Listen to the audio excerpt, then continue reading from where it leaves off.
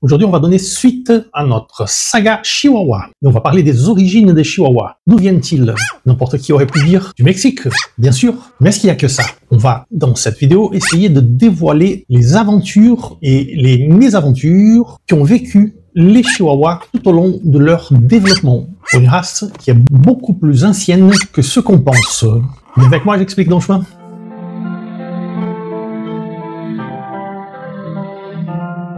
Bien le bonjour, je suis Mauricio Veto et aujourd'hui on va parler d'une race que j'apprécie spécialement vu que je l'élève depuis presque 30 ans. Ce mot Chihuahua, Chihuahua est en fait le principal département du Mexique situé au nord. Il fait frontière avec le Texas, selon le plan que je suis en train de montrer ci-dessous et qui a une certaine importance, comme on va voir prochainement. C'est bien sûr le local qui a donné le nom à la race. Ce nom a été consacré par l'usage aux alentours de la fin du 19e siècle, quand des commerçants mexicains vendaient aux touristes américains des petits chiens qui ne grandissaient pas et qui étaient amenés par les touristes, donc aux États-Unis, comme chiens de compagnie. Et ils disaient que ces chiens s'appelaient des chihuahueños, ce qui veut dire originaire de Chihuahua, et le diminutif chihuahua était consacré par l'usage.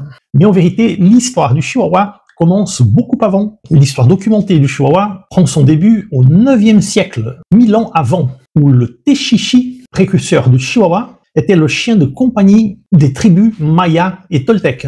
Ces Techichi avaient un poids d'environ 5 à 10 kg, c'est-à-dire facilement le double de la taille d'un Chihuahua comme on les connaît aujourd'hui, mais il était très semblable à notre Chihuahua, en apparence comme en tempérament. Encore avant l'existence documentée des Techichi, nous avons seulement des théories, et nous en avons trois principales. La première dit que le Chihuahua est originaire initialement de l'île de Malte, sud de l'Europe, et aurait été amené vers l'Amérique centrale par les colonisateurs espagnols. Elle n'est pas une théorie que j'apprécie dans la mesure où les Techichi existaient beaucoup avant l'arrivée des Espagnols. Donc euh, je n'accepte pas cette théorie-là. Une deuxième théorie essaye de lier l'apparition des Techichi aux origines égyptiennes en vue du fait que les pyramides égyptiennes ont une certaine analogie avec les pyramides de la civilisation précolombienne. Les précurseurs des Techichi seraient donc, à partir de là, venus avec ceux qui ont amené la technologie égyptienne de construction de pyramides vers l'Amérique centrale. Là aussi, cette hypothèse relève un peu de mythologie parce que cette liaison n'a jamais été confirmée. Enfin, il y a une troisième euh, hypothèse, qui est d'ailleurs celle que je préfère, serait que les origines initiales du Chihuahua seraient en Chine? Et les précurseurs seraient venus avec les Chinois en transhumance vers l'Amérique centrale il y a environ 3000 ans. À ce moment-là, le Chihuahua aurait des racines communes avec des petites races chinoises comme le Chinese Crested, le chien chinois à crête.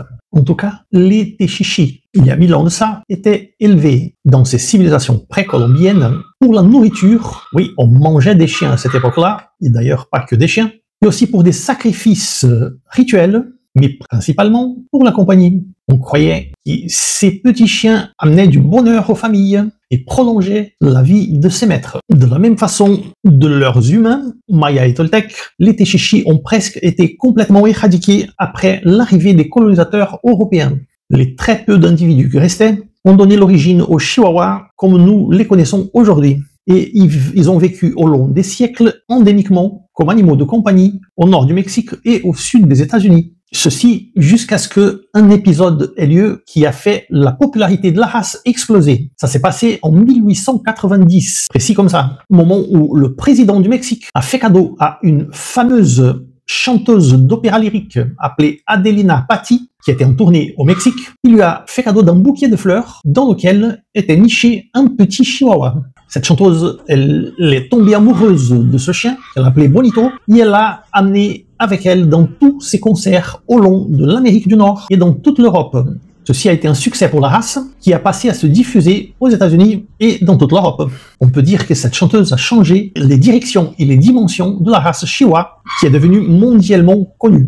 Le premier chihuahua enregistré à l'American Kennel Club, ça a été au Texas en 1904. Il s'appelait Midget.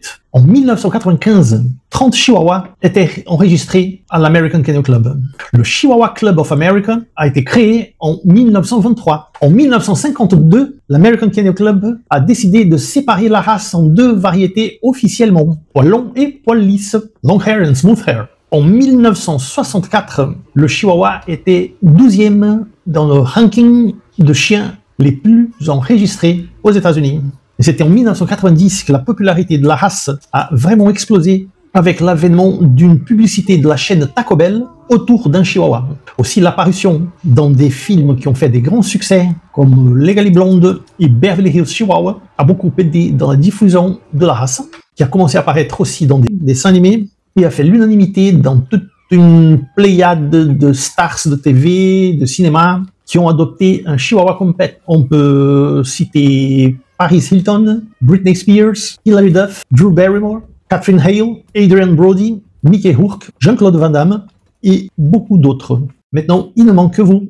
Et à bientôt pour une prochaine vidéo.